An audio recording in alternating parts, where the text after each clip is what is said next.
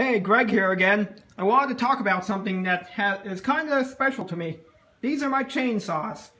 This is my second favorite. It's a Ryobi 40 volt brushless one. You never have to pull start it. It's completely silent, well unless you're cutting through something. And I added a longer guide bar there with uh, tungsten carbide teeth there so I, ba um, I barely ever have to really sharpen it. Then I have this one over here. It's just an old, uh, I don't even know what it is. It's just a red one. It works, and yeah.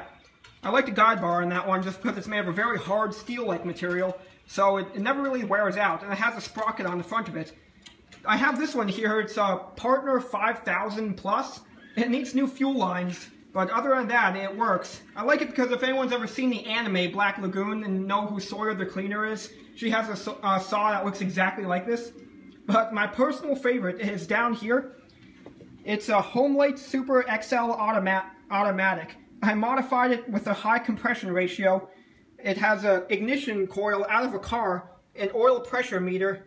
It also runs on this fuel down here. It's, I don't know if you can see that.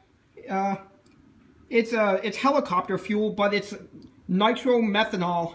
So it's basically what Formula One cars run off of. I had to put a compression release in it so it doesn't like keep going after you turn off the ignition. But with its high compression, it's been known to know do what's called dieseling, so like no spark, and it keeps running.